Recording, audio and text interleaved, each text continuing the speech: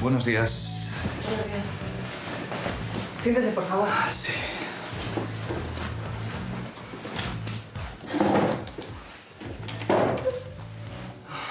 Cuénteme, ¿qué le pasa? Pues lo que tengo para mucha gente puede no parecer importante, pero para mí lo es. Me impide relacionarme socialmente y a la hora de buscar pareja me supone un problema. Me huelen los pies. Mucho. ¿Tiene alguna herida supurante? No, no, es solamente el olor. A veces puede ser un problema de sudoración. Hay unos polvos para echarse dentro de los calcetines que van bastante bien. No, que no, no es problema de sudoración, es solamente el olor. Es muy intenso. A veces evito quedarme encerrado en sitios pequeños con más gente. Paso mucha vergüenza. ¿Usted no lo huele? Pues no, no, no lo huelo. No hace falta que disimule. No, es que no estoy disimulando. ¿Mantiene una buena higiene? Sí, sí, sí, sí. Me lavo los pies cinco veces al día y me cambio los calcetines cada vez. Incluso he probado a lavármelos con lejía. Descálcese, por favor, que le quiero explorar. No, no, no, no, no. No puedo hacerle eso. Es que hay gente que se ha desmayado literalmente por el olor. No creo que vaya a ser el caso. Por favor, descálcese. Vale, pues... ¿Habrá por lo menos la ventana? No creo que vaya a ser necesario, señor Alfonso Villaraco. Monsi, pero qué, mala persona eres. Qué fuerte. ¿Qué tal? ¿Cuánto tiempo? Es que estás delgadísimo. 30 kilos. Y con la barba, claro, por eso no te había reconocido. Me resultaba familiar, ¿eh? No te creas. Me costaba mucho no reír. Me has puesto unas caras. Bueno, pero cuéntame, ¿cómo has adelgazado tanto? Porque es que me, me he quedado muy Pues, impresionada. He dejado la mala vida. He sustituido el tabaco y el alcohol por mi pasión, la vela. Qué bien. ¿Y cómo has dado conmigo? ¿Ha sido casualidad? No, que va. Le pregunté a mi hermana en qué hospital trabajabas y dije, pues mejor Silvia que un desconocido. Ay, claro, mejor Silvia. Claro. Pues que sepas que es un auténtico honor tenerte hoy aquí porque justo hoy estreno consulta. Hoy estreno plaza como internista.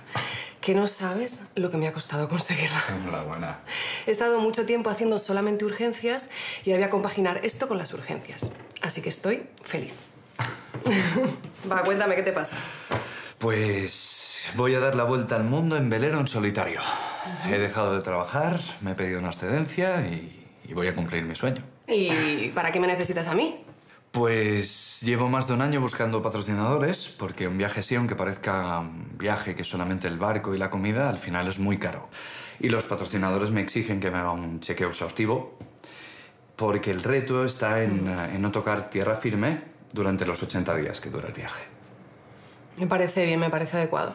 Pues he venido en ayunas. He pensado que querrías extraerme sangre y he dicho, así lo dejamos todo cerrado en un rato. Voy a necesitar más que un rato para hacerte un chequeo exhaustivo. No, pero yo me encuentro perfectamente. Yo necesito que me firmes un papelito y ya está. Ya, Fonsi, pero ahí te equivocas. Yo no voy a firmar nada que no haga. Lo primero que voy a hacer es una analítica de sangre y luego ya veremos cuánto tiempo necesitamos. Voy a avisar a una enfermera para que te haga la extracción. Yo venía a pasar un trámite, a que me firmaran los papeles. Pero me parece que me va a tener aquí todo el día. Ya me he sacado sangre y ahora me va a hacer una espirometría, que no sé muy bien lo que es. Fonsi, este aparato lo que hace es medir todo el aire que exhalas y la velocidad con la que lo haces. Y así es capaz de discriminar entre un gran número de enfermedades respiratorias. Ok. ¿Empezamos? Sí. Tienes que ponerte esta pinza a la nariz. ¿Te la pongo yo? Sí. Muy bien. Y ahora respira por la boquilla que está conectada al espirómetro. Tienes que respirar con toda tu fuerza. No te rías. Coge aire, expira. Muy bien. Muy bien, lo has hecho muy bien. Los valores de la espirometría muestran un patrón obstructivo leve. ¿Y eso qué es? Eso significa que hay una disminución del flujo aéreo. ¿Has estado acatarrado últimamente? Sí. ¿Sí? Sí. Pues podría ser por eso. Vale, lo siguiente que vamos a hacer es que te voy a pasar a la camilla y te voy a auscultar y te voy a tomar la presión arterial. ¿Hace mucho que no te la has tomado o...? No, hace como uno- unos 10 años. Te parecerá gracioso, ¿no? Siempre igual de regañica. Alfonso, me estoy fijando en que tienes el color de la piel muy amarillento, ¿no? He de confesarte algo. A ver, ¿el qué? Pues que me he puesto autobronceador. Es que como en invierno no salgo mucho a navegar y no me da el sol, y ahora como voy al gimnasio no me gusta ir tan pálido. Ya. Eso justificaría el color de la piel, pero no el color de tus ojos. Bueno, ya veremos qué dicen los análisis. La presión arterial está bien y la frecuencia cardíaca es baja. Pero eso es normal porque haces mucho deporte. Mira, hablando de eso, ¿crees que vamos a tardar mucho? Me gustaría ir al gimnasio esta mañana. Para que te hagas una idea, lo siguiente que voy a hacer es ver con detenimiento tu corazón. Voy a hacerte un electrocardiograma, un ecocardiograma y una ergometría. El electrocardiograma va a ser una primera aproximación para valorar tu riesgo coronario y luego haremos la ergometría, que es una prueba de esfuerzo. Durante la prueba se pueden analizar distintos parámetros para evaluar la respuesta del corazón ante el ejercicio. Es un examen que utiliza una técnica de ultrasonidos para reproducir imágenes del corazón.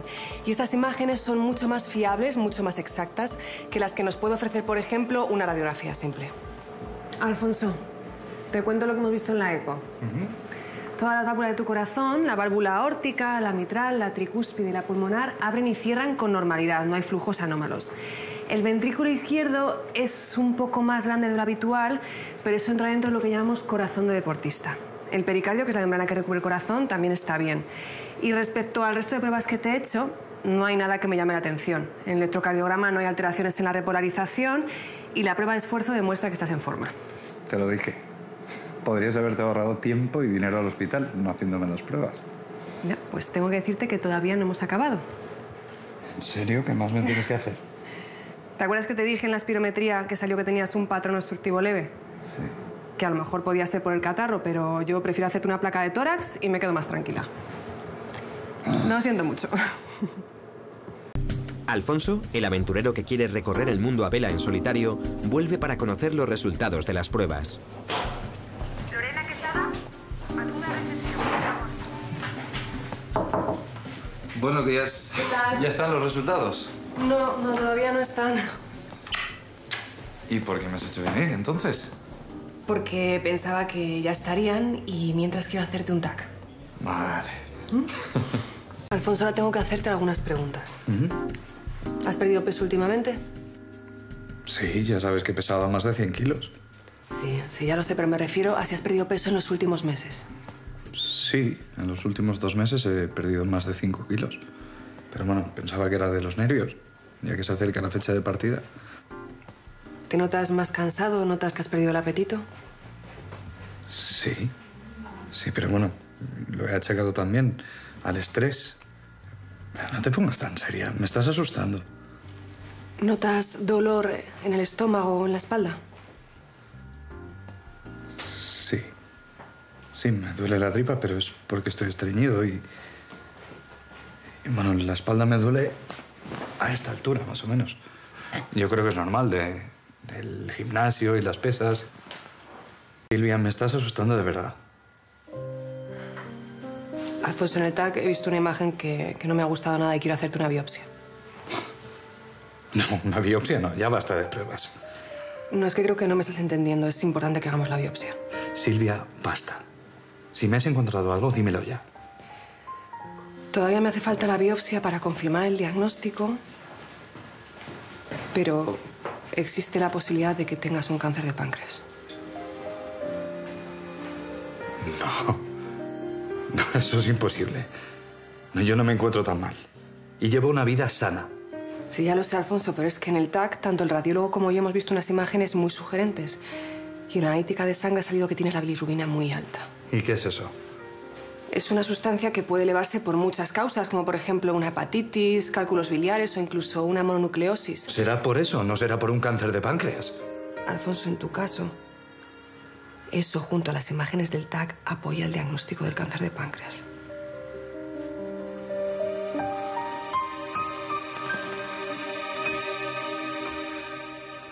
Alfonso vuelve al hospital para conocer el resultado de la biopsia. ¿Cuáles son los resultados de la biopsia?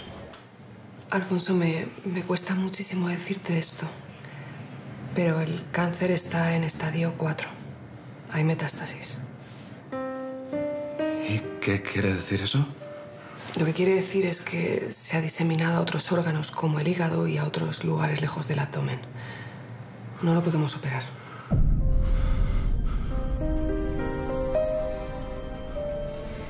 voy a morir. No es algo matemático. Sí, sí que lo es.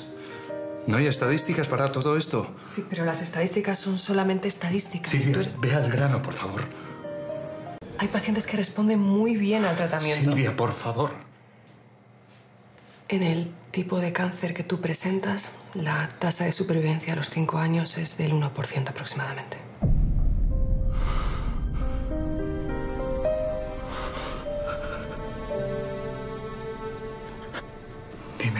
Por lo menos tengo tres meses para viajar.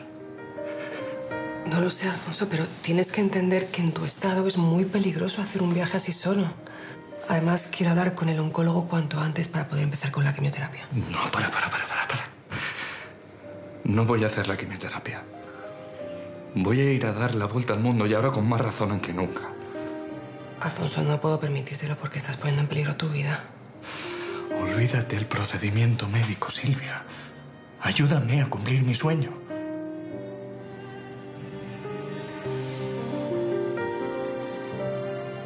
Alfonso, no puedo hacer eso. Y no voy a firmar el certificado. No importa. Iré a otro hospital hasta que dé con uno que, que no me detecte el cáncer. Lo siento, pero no puedo permitírtelo. Lo que no puedes es impedírmelo. Tienes que respetar la confidencialidad médico-paciente.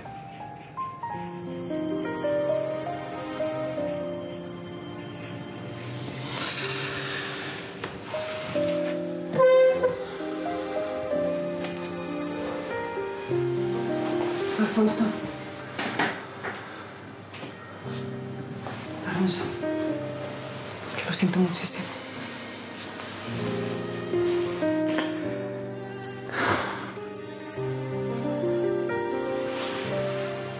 No te preocupes. Muchas gracias por todo. No se me ocurre un lugar mejor donde morir que en el océano.